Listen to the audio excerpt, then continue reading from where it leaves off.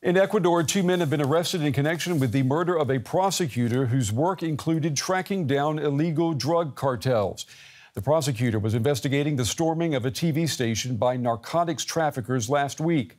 Drug cartels have been waging a bloody campaign of kidnappings and killings.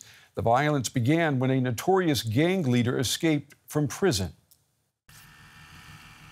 Armed police enter a major Ecuadorian prison near the city of Guayaquil, rounding up inmates as government forces try to crack down on rapidly escalating gang violence.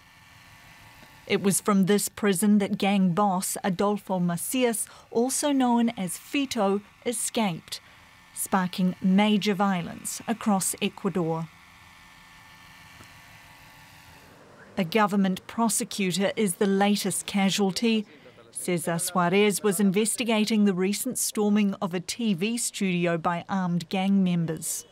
He was shot dead on Wednesday. Two men have been arrested over the killing, and his colleagues are appealing for more protection.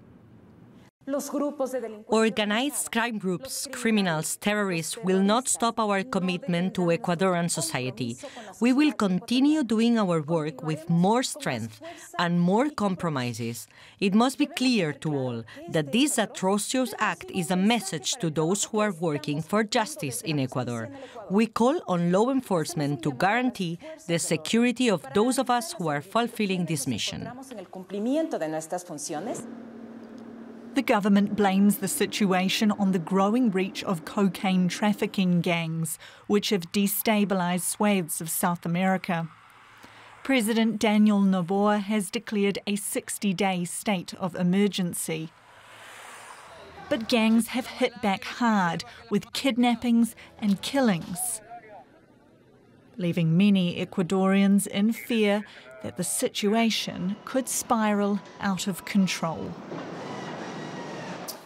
Well, I'm joined now by Vanda Felbab Brown. She's the director of the Initiative on Non-State Armed Actors at the Brookings Institute. It's good to have you with us. You know, we just saw in that report how the Army, the police in Ecuador have launched this huge operation inside this prison complex in the city of Guayaquil. Can you explain to our viewers how this prison, how it could become the center of what has become a drug war in the country? Well, uh, just like in many other parts of Latin America, uh, prisons um, have been both stuffed with inmates or those arrested on suspicions of having uh, committed crimes, often without being convicted, and yet at the same time, they are breeding grounds of organized crime. They are often very powerfully connected to violence on the street. And of course, what's happening in Guayaquil, what's happening in the prison, it's one important element of the violence in Ecuador, uh, but it is just one element. There are mm. very many other sources that go way beyond the prison and beyond um, Fito. Yeah, I want to st stick with Fito for a moment. This gang leader, also known as Adolfo Macias, I mean, he was imprisoned in this prison until he escaped last week. How big of a role does he play here? Well, uh, Fito um, has been the leader of uh, Los Choneros, the very important uh, criminal group in Ecuador that is connected to the Sinaloa cartel. And it's really the linkages to the Sinaloa cartel and Cartel Jalisco Nueva Generacion, the two Mexican uh, criminal groups at war with each other that has um, set of violence really across the southern cone, amplifying local dynamics. Um, however, as important as Fito is as the leader of the Choneros, he is just one man. Um, mm-hmm. He became leader four years ago. If he uh, is arrested or killed, uh, the violence and the gangs will go on. You know, up until a few years ago, Ecuador was considered a bastion of peace in Latin America. It was a top destination for U.S. retirees looking to spend, you know, the, the, the best parts of their life. That's all changed now. Why has this big change happened in such a short space of time in Ecuador? Well, again, I think that we have to a little bit analyze the short space of time. So, you know, obviously we have been witnessing dramatic uh, events, high violence over the past uh, year. Uh, but violence has been building up since COVID 19, and violence has had its uh, roots really going on for over a decade, where we have a set of policies across um, various administrations in Ecuador. Uh, weakening on purpose or accidentally judicial institutions, prison institutions, and law enforcement capacities. And at the same time, we have the movement of the two cartels, at first Sinaloa, into a place like Ecuador, sandwiched between um, Colombia and um, uh, Peru, two important sources of cocaine. Ecuador mm-hmm. itself became a hub of transportation of cocaine to Europe. So there's been a long buildup of uh, institutional weakening, coinciding uh, most lately in, with this bipolar war between Sinaloa cartel and Cartel Jalisco Nueva Generacion, yeah. and intersecting with local crime dynamics. So let's talk then for a moment about solutions here. Is the Ecuadorian government's crackdown, the, the, military operations, the raids that we're seeing, is this the right way to go at this moment?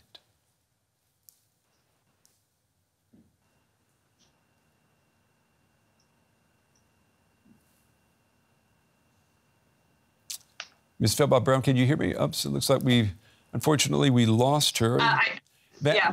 Can, can you hear me, Miss? I, I can hear you now. Um, Okay, let me, yes, let me just. Okay, let me just ask you um, quickly before we run out of time. What's the best? What's the answer here to this? The, the government's crackdown is that the correct way to solve this problem? Well, it's almost inevitably uh, an, an, element of the answer, but it's certainly not sufficient. What really needs to happen is profound institutional strengthening that will take a long time, a lot of resources and commitments across several generations. In the meantime, the government does need to improve security on the ground. I am not persuaded that it will follow from the crackdown, uh, but I do understand how the government does need to take meaningful law enforcement situation to calm the streets and avoid egregious violence that we have been seeing. And, and where does all of this leave the Ecuadorian public? I mean, people must be, I assume, suffering from this ever increasing amount of, of violence in the country. Well, absolutely. Uh, people in Ecuador have been suffering from many challenges, and we have seen great spikes of crime since the onset of COVID uh, in uh, 2020. Uh, with its many repercussions. And the violence over the past year has really been horrendous. And we are currently in a major attack by the criminal groups on state institutions. The killing of the prosecutor, the killing of the political candidates, the riots in prison are all part of a systematic campaign to completely mm. intimidate the state. And the state cannot be intimidated, including because it needs to protect as its primary responsibility the Ecuadorian and, people. And what do you hear inside Ecuador? Uh, do you ever hear the argument that we wouldn't have this problem if we did not have the demand for cocaine in the U.S. and Europe? I mean, if there's no demand, then there are no drug cartels. Well, absolutely. You know, that is certainly a line that is heard across um, Latin America and in various other parts of the world that are dealing with drug trafficking.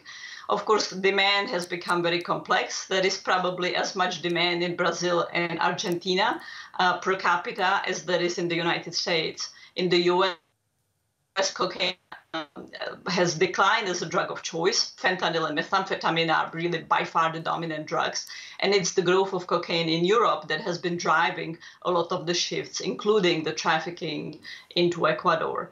Uh, so yes, addressing demand is very important. It's elusive. It hasn't worked well in any country, uh, but it cannot be an excuse for poor law enforcement policies. Mm. Vanda Felbab Brown with the Brookings Institute in Washington. We appreciate your time and your analysis tonight. Thank you.